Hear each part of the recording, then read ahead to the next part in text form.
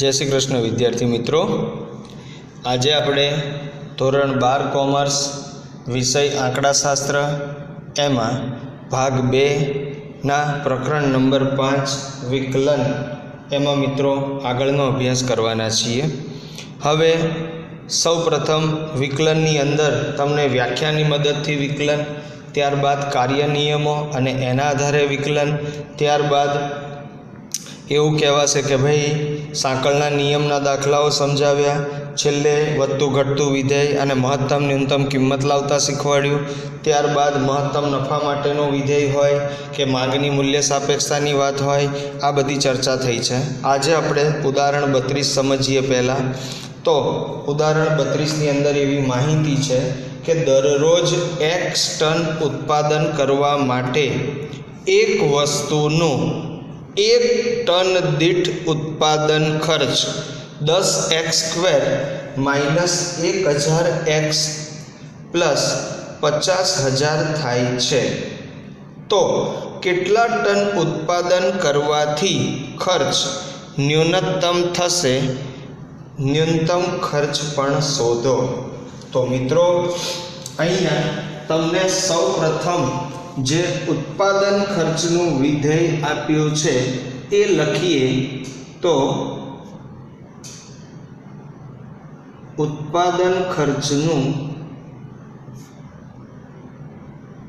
વિધેય સી બરાબર દસ એક્સ સ્ક્વેર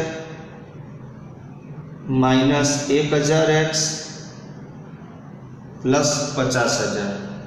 હવે સૌ પ્રથમ આ જે ઉત્પાદન ખર્ચનું વિધેય આપ્યું છે. એનું પ્રથમ અને દ્વિતીય વિકલન તો હવે ડીસી બાય ડીએક્સ એટલે કે સી વિધેયનું એક્સ પ્રત્યે વિકલન. તો દસ એક્સ સ્ક્વેર, એનું વિકલન દસ દુ વીસ એક્સ માઇનસ એક હજાર એક્સ, એનું વિકલન એક હજાર વત્તા પચાસ હજારનું વિકલન જીરો એ નહીં લખીએ તો ચાલશે. હવે બીજું વિકલન. D square C upon D X square. ચલો વીસ એક્સ એનું વિકલન વીસ. માઇનસ એક હજાર. એક હજારનું વિકલન જીરો એ નહીં લખીએ તો ચાલશે. થઈ ગયું. ચલો હવેનું સ્ટેપ કે સ્થિર કિંમતો માટે, સ્થિર કિંમતો માટે ડીસી બાય ડીએક્સ બરાબર જીરો લેતા. એટલે ડીસી બાય ડીએક્સ શું છે? વીસ એક્સ માઇનસ એક હજાર બરાબર જીરો એટલે વીસ એક્સ બરાબર એક હજારને પેલી બાજુ લઈ લઉં તો પ્લસ. એટલે એક્સ બરાબર એક હજાર ભાગ્યા વીસ. એટલે મિત્રો, એક્સ બરાબર શું આવશે? પચાસ. એક્સ બરાબર પચાસ.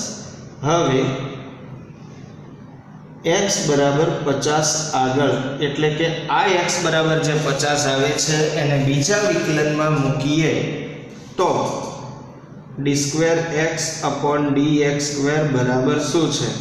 વીસ. એટલે વીસ એ જીરો કરતાં કેવો છે? મોટો.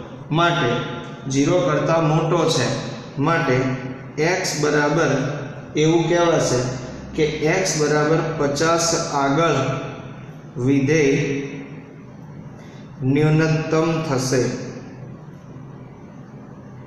રેડી પહેલું, કયા, કેટલું ઉત્પાદન કરવાથી? એક્સ બરાબર પચાસ એકમોનું ઉત્પાદન કરવાથી બરાબર? ઉત્પાદન ખર્ચ કેવો થશે મિત્રો? ન્યૂનતમ થશે. હવે એમણે ઉત્પાદન ખર્ચ એટલે કે ન્યૂનતમ ખર્ચ પણ શોધવાની વાત કરી છે. તો લખીએ, ન્યૂનતમ ખર્ચ માટે, ન્યૂનતમ ખર્ચ માટે એક્સ બરાબર પચાસને ખર્ચના વિધેય સીમાં લેતા આર્યો તો સી બરાબર દસ કૌંસમાં પચાસનો સ્ક્વેર માઇનસ એક હજાર કૌંસમાં પચાસ વત્તા પચાસ હજાર. બરાબર? તો એ પ્રમાણે દસ એમના એમ પચાસનો સ્ક્વેર પચીસો. માઇનસ આ બેનો ગુણાકાર પચાસ હજાર પ્લસ પચાસ હજાર. આ પચાસ હજાર માઇનસ પ્લસ ગયા. તો હવે મિત્રો પચીસો ગુણ્યા દસ એટલે કે પચીસ હજાર રૂપિયા થશે. તો કેટલું ઉત્પાદન કરવાથી ન્યૂનતમ થશે? પચાસ એકમોનું. એ ન્યૂનતમ ખર્ચ કેટલો આવશે? રૂપિયા પચીસ હજાર આવશે. થઈ ગયું મિત્રો? તો આ હતો પહેલો પ્રશ્ન. હવે ઉદાહરણ તેત્રીસ. એમ કહે છે, એક ફેક્ટરી એક્સ એકમોનું ઉત્પાદન કરે છે અને તેની ઉત્પાદન ક્ષમતા દરરોજના સાહીઠ હજાર એકમોની છે. તેનું કુલ દૈનિક ઉત્પાદન ખર્ચ સી બરાબર બે લાખ પચાસ હજાર પ્લસ ઝીરો પોઈન્ટ ઝીરો આઠ એક્સ વત્તા અહીંયા જે આંકડો આપ્યો છે એ એના ભાગ્યા એક્સ બરાબર? તો ન્યૂનતમ ખર્ચ માટે કેટલા એકમોનું ઉત્પાદન કરવું જોઈએ? બરાબર મિત્રો? તો સૌપ્રથમ તમને જે ખર્ચનું વિધેય આપ્યું છે, એ ઉત્પાદન ખર્ચનું વિધેય આપણે લખીએ. ઉત્પાદન ખર્ચનું વિધેય સી બરાબર બે લાખ પચાસ હજાર પ્લસ જીરો પોઈન્ટ જીરો આઠ એક્સ વત્તા બેની પાછળ આઠ જીરો ભાગ્યા એક્સ. આવું તમારું ઉત્પાદન ખર્ચનું વિધેય છે. મિત્રો, આને આપણે આગળ લઈ જઈએ તો આવી રીતે લખાશે બે લાખ પચાસ હજાર પ્લસ જીરો પોઈન્ટ જીરો આઠ એક્સ પ્લસ બેની પાછળ આઠ જીરો ત્રણ ને ત્રણ છ ને એક સાત ને એક આઠ. એક્સની માઇનસ એક ઘાત થશે.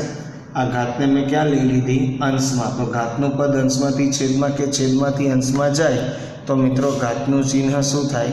બદલાઈ જાય. હવે સૌ પ્રથમ પહેલું વિકલન, ડીસી બાય ડીએક્સ. આનું વિકલન જીરો નથી લખતા. આનું વિકલન જીરો પોઈન્ટ જીરો આઠ એક્સ. પ્લસ માઇનસ માઇનસ બે, ત્રણ, ચાર, પાંચ, છ, સાત, આઠ એક્સની માઇનસ એક માઇનસ એક એટલે માઇનસ બે. આ થયું મિત્રો પહેલું વિકલન. હવે બીજું વિકલન. D square C upon D X square. બરાબર. આનું વિકલન શું થશે મિત્રો? તો આનું વિકલન થશે ઝીરો પોઈન્ટ, એક મિનિટ અહીંયા ઝીરો પોઈન્ટ ઝીરો આઠ હતું ને એટલે અહીંયા ઝીરો પોઈન્ટ ઝીરો આઠ જ આવે. એનું વિકલન થશે મિત્રો ઝીરો. માઇનસ, આનું વિકલન માઇનસ એક, બે, ત્રણ, ચાર, પાંચ, છ, સાત, આઠ. માઇનસ બે ગુણ્યા માઇનસ બે એટલે માઇનસ માઇનસ પ્લસ ભાગ અને એક્સની માઇનસ ત્રણ ઘાત થશે. કારણ કે માઇનસ બે અને માઇનસ એક એટલે માઇનસ ત્રણ ઘાત થશે. તો હવે સ્થિર કિંમતો માટે ડીસી બાય ડીએક્સ બરાબર જીરો લેતા. પહેલાં વિકલન બરાબર ઝીરો લઈએ, તો જીરો પોઈન્ટ જીરો આઠ માઇનસ એક, દો तीन ચાર, પાંચ, છ, સાત, આઠ. એક્સની માઇનસ બે બરાબર જીરો. આને સુધારીએ, તો જીરો પોઈન્ટ ઝીરો આઠ માઇનસ એક, બે, ત્રણ, ચાર, પાંચ, છ, સાત, આઠ. છેદમાં એક્સની બે ઘાત થઈ જશે. બરાબર જીરો થઈ જશે મિત્રો. બરાબર? હવે આને આ બાજુ લઈ લઉં. તો જીરો પોઈન્ટ જીરો આઠ બરાબર એક, બે, ત્રણ, ચાર, પાંચ, છ, સાત, આઠ, નવ ભાગ્યા એક્સ સ્ક્વેર. એક્સ સ્ક્વેરને ઉપર લઈ લઉં તો એક, દો, તીન, ચાર, પાંચ, છ, સાત, આઠ. આને છેદમાં લઉં તો જીરો પોઈન્ટ ઝીરો આઠ. તો એક્સ સ્ક્વેર બરાબર આનો ભાગાકાર મિત્રો કેલ્ક્યુલેટરમાં કરીએ. તો જુઓ, બે બે ચાર છ આઠ ભાગ્યા પોઈન્ટ ઝીરો આઠ. તો એનો ભાગાકાર આવે છે. પાછળ એક, બે, ત્રણ, ચાર, પાંચ, છ, સાત, આઠ. એક, બે, ત્રણ, ચાર, પાંચ, છ, સાત, આઠ. માટે એક્સ બરાબર આનું વર્ગમૂળ. એનું વર્ગમૂળ આવશે મિત્રો પચાસ હજાર. એક્સ બરાબર કેટલા આવશે મિત્રો? પચાસ હજાર. પચાસ હજાર એકમોના ઉત્પાદને ખર્ચ કેવો થશે મિત્રો? ન્યૂનતમ થશે. એના માટે થઈને સૌ પ્રથમ આ પચાસ હજારને બીજા વિકલનમાં લેતા. એટલે લખીએ, એક્સ બરાબર પચાસ આગળ આગળ શું થશે? તો D square C upon D X square બરાબર શું થશે અહીંયા? તો એક, બે, ત્રણ, ચાર, પાંચ, છ, સાત ને આઠ. આને છેદમાં લઈ લો સીધો. એટલે પચાસ હજારનો ઘન એટલે પચાસ હજારનો ઘન તમે લેશો. એટલે આનું સાદુરૂપ એક, બે, ત્રણ, ચાર, પાંચ, છ, સાત, આઠ, નવ. સાત, આઠ ભાગ્યા પચાસ હજારનો ઘન. એટલે એ જવાબ જીરો કરતાં કેવો આવશે મિત્રો? મોટો. માટે એક્સ બરાબર પચાસ હજાર એકમોના ઉત્પાદને ખર્ચ ન્યૂનતમ થશે. બરાબર? પચાસ હજાર એકમોનું ઉત્પાદન કરશો તો ખર્ચ કેવો થશે મિત્રો? ન્યૂનતમ થશે. તો આ હતું ઉદાહરણ તેત્રીસ. હવે ઉદાહરણ ચોત્રીસની વાત કરીએ. એમ કહે છે, જો કોઈ ઘડિયાળનું માંગનું વિધેય પી બરાબર છ હજાર માઇનસ બે એક્સ હોય તો મહત્તમ આમદાની માટે કિંમત શોધો અને તે કિંમતને કિંમતે ઉદ્ભવતી માંગ પણ શોધો. બરાબર મિત્રો? તો સૌ પ્રથમ અહીં તમને માંગનું વિધેય આપ્યું છે. શું આપ્યું છે? મિત્રો, માંગનું વિધેય. તો લખીએ. માંગનું વિધેય. ચલો, માંગનું વિધેય શું આપ્યું છે? પી બરાબર છ હજાર માઇનસ ટુ એક્સ. તો આના આધારે આમદાની વિધેય શું મળશે? તો કે આર બરાબર એક્સ ઇન્ટુ પી એક્સ ખબર નથી. પી કેટલા છે? છ હજાર માઇનસ ટુ એક્સ તો આર બરાબર શું થશે? છ હજાર X minus two X square મિત્રો, હવે અહીંયા આમદાની વિધેય મળી ગઈ છે. તો આમદાની વિધેયના આધારે હવે પહેલું વિકલન ડીઆર બાય ડીએક્સ બરાબર છ હજાર એક્સનું વિકલન, છ હજાર માઇનસ ટુ એક્સ સ્ક્વેરનું વિકલન બે દુ ચાર એક્સ હવે એનું બીજું વિકલન D square R upon D X square છ હજારનું વિકલન જીરો એ ન લખો તો ચાલે માઇનસ ચાર એક્સનું વિકલન ચાર.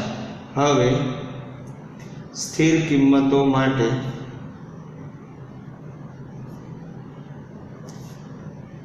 ડીઆર બાય ડીએક્સ બરાબર જીરો લેતા.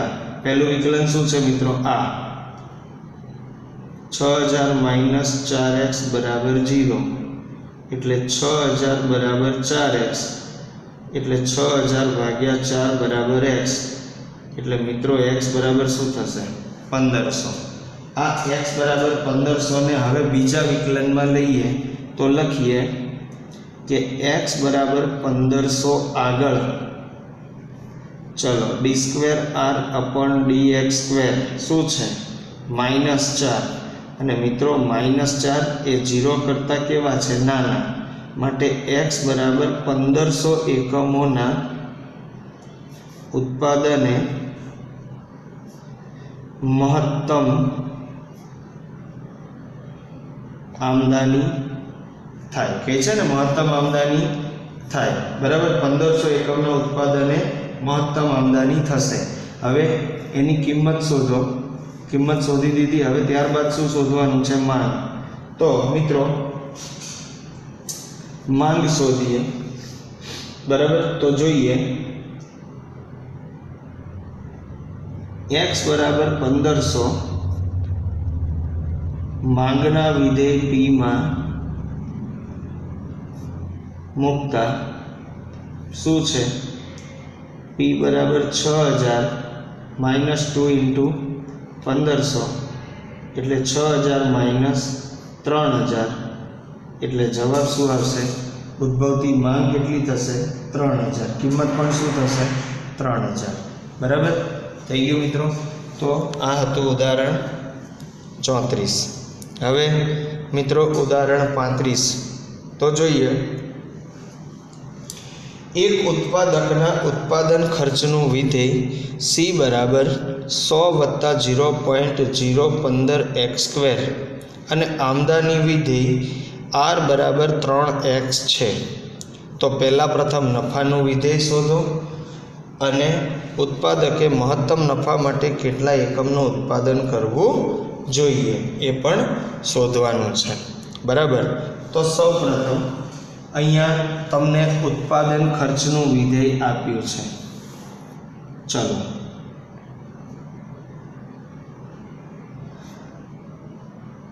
ઉત્પાદન ખર્ચનું વિધેય. સી બરાબર સો વત્તા જીરો પોઈન્ટ જીરો પંદર એક્સ સ્ક્વેર. ત્યારબાદ આમદાની વિધેય આપ્યું છે. આર બરાબર થ્રી એક્સ બરાબર હવે નફો બરાબર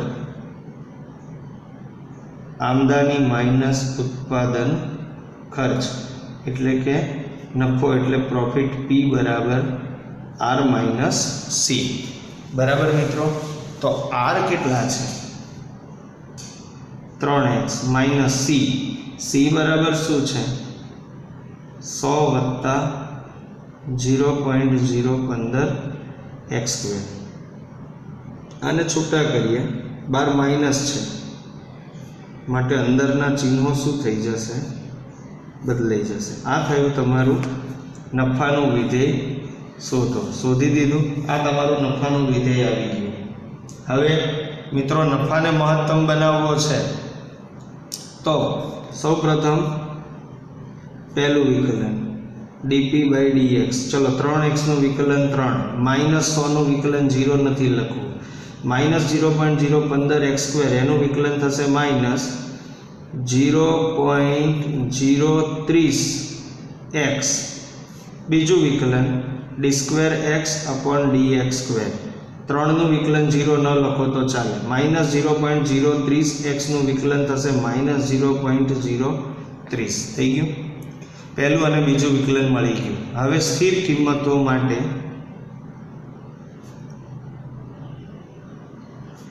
સ્થિર કિંમતો માટે ડીપી બાય ડીએક્સ બરાબર અહીંયા પી આવશે. ડીપી બાય ડીએક્સ બરાબર જીરો લેતા. ચલો, આના બરાબર જીરો ત્રણ માઇનસ જીરો પોઈન્ટ જીરો ત્રીસ એક્સ બરાબર જીરો ત્રણ બરાબર ઝીરો પોઈન્ટ જીરો ત્રીસ એક્સ. એક્સ બરાબર ત્રણ ભાગ્યા જીરો પોઈન્ટ જીરો ત્રીસ. તો મિત્રો, એનો ભાગાકાર કેટલો આવશે? સો. ભાગાકાર કેટલો આવશે? સો.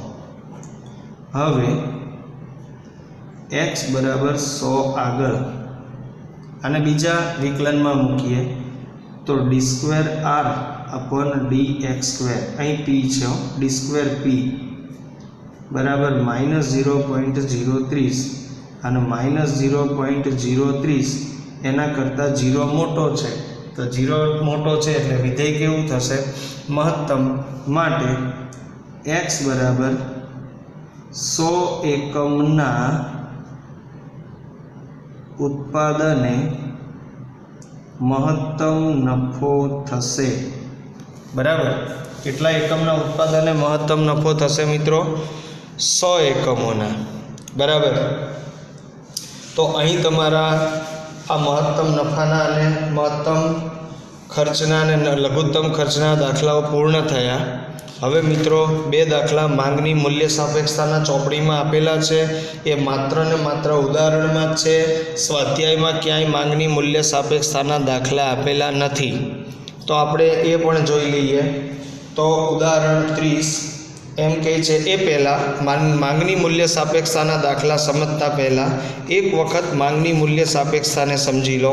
અહીં કીધું તું, જો તમને અગાઉના લેક્ચરમાં સમજાવેલું કે માંગની મૂલ્ય સાપેક્ષતા એટલે માંગમાં થતા ટકાવારી ફેરફાર અને કિંમતમાં થતા ટકાવારી ફેરફારના ગુણોત્તરને માંગની મૂલ્ય સાપેક્ષતા કહે છે.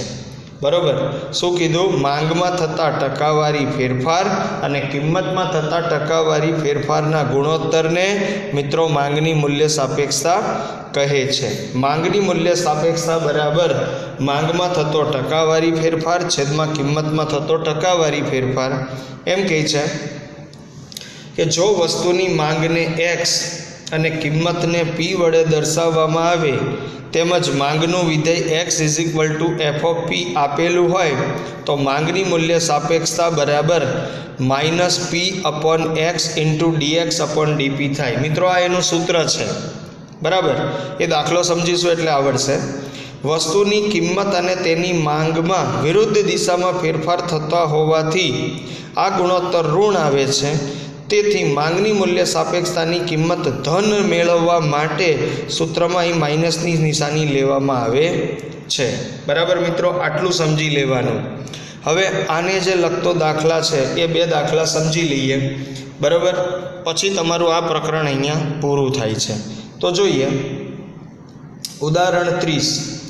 એમ કહે છે, જો કોઈ વસ્તુની માંગનું વિધેય એક્સ બરાબર પચાસ માઇનસ ફોર પી હોય તો જ્યારે એની કિંમત પી બરાબર પાંચ હોય, ત્યારે માંગની મૂલ્ય સાપેક્ષતા શોધો અને તેનું અર્થઘટન કરો. બરાબર મિત્રો? તો સૌ પ્રથમ આપણે અહીં તમને માંગનું વિધેય આપ્યું છે. માંગનું વિધેય શું આપ્યું છે? એક્સ બરાબર પચાસ માઇનસ ફોર પી હવે આપણે એનું પહેલું વિકલન ડીપી બાય ડીએક્સ એટલે એક્સ વિધેયનું પી પ્રત્યે વિકલન. એક્સ વિધેયનું પી પ્રત્યે વિકલન, એટલે પચાસનું વિકલન જીરો માઇનસ ચાર, પીનું વિકલન એક. તો ડીપી બાય ડીએક્સ બરાબર શું થશે? માઇનસ ચાર.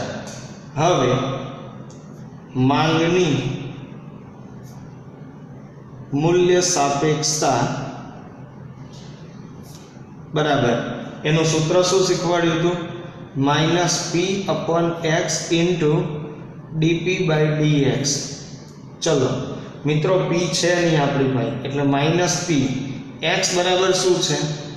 પચાસ માઇનસ ફોર પી ગુણ્યા ડીપી બાય ડીએક્સ કેટલા આવે છે? માઇનસ ચાર. એટલે આનો બેનો ગુણાકાર, માઇનસ પી ગુણ્યા માઇનસ ચાર એટલે ચાર પી છેદમાં પચાસ માઇનસ ફોર પી આ થયું તમારી માંગની મૂલ્ય સાપેક્ષતા. હવે પી બરાબર પાંચ હોય ત્યારે માંગની પી બરાબર પાંચ લેતા. તો શું થશે? ચાર કૌંસમાં પાંચ છેદમાં પચાસ માઇનસ ચાર કૌંસમાં પાંચ. એટલે પાંચ ચોક વીસ, પચાસના પચાસ, માઇનસ પાંચ ચોક વીસ. એટલે પચ, વીસ ભાગ્યા ત્રીસ એટલે ઝીરો પોઈન્ટ સડસઠ બરાબર? હવે એનું અર્થઘટન લખું છું અહીંયા. તો અર્થઘટન એવું કહેવા માંગે છે કે જ્યારે કિંમત પાંચ હોય ત્યારે, જ્યારે કિંમત પાંચ હોય ત્યારે કિંમતમાં એક ટકાનો ફેરફાર કરવાથી ફેરફાર કરવાથી માંગમાં અંદાજે ઝીરો પોઈન્ટ સડસઠ ટકાનો ફેરફાર થાય છે. બરાબર મિત્રો? માંગમાં એક ટકાનો ફેરફાર થાય ત્યારે આ કિંમતમાં એક ટકાનો ફેરફાર થાય ત્યારે માંગમાં લગભગ અંદાજે ઝીરો પોઈન્ટ સડસઠ ટકાનો શું થાય છે? ફેરફાર. હવે આપણે ઉદાહરણ એકત્રીસ સમજીએ. તો એમ કહે છે કે જો કોઈ એક વસ્તુની માંગનું વિધેય પી બરાબર બાર માઇનસ અંડર રૂટ એક્સ હોય, તો જ્યારે માંગ નવ એકમ હોય ત્યારે માંગની મૂલ્ય સાપેક્ષતા શોધો અને તેનું અર્થઘટન કરો. હવે વિદ્યાર્થી મિત્રો, અહીંયા માંગનું વિધેય એક્સ હતું. અહીંયા માંગનું વિધેય શું આપ્યું છે? પી એટલે ખાસ ધ્યાન રાખજો કઈ રીતે દાખલો થાય છે. બરાબર? પરીક્ષામાં પૂછાય તો વાંધો ના આવે. જોઈએ. માંગનું વિધેય પી બરાબર બાર માઇનસ અંડર રૂટ એક્સ. તો આપણે આને આવી રીતે લખીએ. બાર માઇનસ એક્સની એક દૃત્યાંશ ઘાત લખી શકાય. હા, લખી શકાશે એ રીતે. બરાબર? તો સૌપ્રથમ પહેલું વિકલન ડીપી બાય ડીએક્સ બરાબર બારનું વિકલન જીરો માઇનસ આનું વિકલન એક દૃત્યાંશ એક્સની માઇનસ એક દૃત્યાંશ. ચલો, આને આગળ લઈ જઈએ. તો ડીપી બાય ડીએક્સ બરાબર માઇનસ એક દૃત્યાંશ એક્સની માઇનસ એક દૃત્યાંશ, એનું એક થયું. હવે ડીપી બાય ડીએક્સ બરાબર માઇનસ એક છેદમાં બે, આને હું છેદમાં લઈ લઉં તો એક્સની માઇનસ એક દુત્યાંશ એક દુત્યાંશ ઘાત થઈ જશે. તો ડીપી બાય ડીએક્સ બરાબર શું થશે? માઇનસ એક છેદમાં બે અંડર રૂટ એક્સ. અને અંડર રૂટ એક્સ તરીકે લખાશે. તો અહીંયા જુઓ ડીપી બાય ડીએક્સ હતું ને? બરાબર? તો અહીંયા આપણે ભૂલ કરી ડીએક્સ બાય ડીપી લેવાનું હતું. ડીએક્સ બાય ડીપી થાય ને? પી વિધેયનું એક્સ પ્રત્યે વિકલન. એટલે DX by DP DX by DP DX by DP હવે એને ડીપી બાય ડીએક્સ ફેરવવું હોય તો પલટી મારીએ તો હવે ડીપી બાય ડીએક્સ શું થશે? આનું વિરુદ્ધ આ છેદનો છેદ ઉપર જતો રહે. ટુ અંડર રૂટ એક્સ બરાબર? અને પેલો માઇનસ એક નીચે આવી જાય એટલે આ માઇનસ રહેશે. આવું થશે. હવે માંગની મૂલ્ય સાપેક્ષતા. માંગની મૂલ્ય સાપેક્ષતા. ચલો એનું સૂત્ર. શું છે? Minus P upon X into DP by DX ચલો, માઇનસ પી કેટલા છે? આર્યા. માઇનસ બાર માઇનસ અંડર રૂટ એક્સ છેદમાં. એક્સ ખબર નથી. ડીપી બાય ડીએક્સ કેટલા આવે છે? Minus two under root X હવે આ તમારું શું થયું? માંગની મૂલ્ય સાપેક્ષતા. હવે પી શું કહેવાય? પી બરાબર એક્સ બરાબર નવ લેતા. એક્સ બરાબર નવ લેતા બરાબર તો શું થશે માઇનસ બાર માઇનસ અંડર રૂટ નવ છેદમાં નવ ઇન્ટુ ટુ અંડર રૂટ નવ માઇનસ બાર જોઈએ માઇનસ કૌંસમાં બાર માઇનસ ત્રણ છેદમાં નવ ઇન્ટુ માઇનસ બે એનું વર્ગમૂળ ત્રણ. બરાબર? માઇનસ બાર માઇનસ બાર માઇનસ ત્રણ એટલે નવ ભાગ્યા નવ ઇન્ટુ ત્રણ દુ માઇનસ છ. એટલે નવ છ માઇનસ માઇનસ પ્લસ ચોપન ભાગ્યા નવ એટલે જવાબ આવશે મિત્રો છ. બરાબર? આનું અર્થઘટન આની જેમ શું થશે? કે જ્યારે કિંમત નવ હોય ત્યારે કિંમતમાં એક ટકાનો ફેરફાર કરવાથી માંગમાં છ ટકાનો ફેરફાર થાય છે. તો થઈ ગયું મિત્રો, અહીં સુધી રાખીએ. આજે જેટલા પણ દાખલા તમને ગણાવ્યા એ બધા જ તમારી નોટમાં તમારે સારા અક્ષરે ગણવાના છે મિત્રો. બરાબર? જય શ્રી કૃષ્ણ.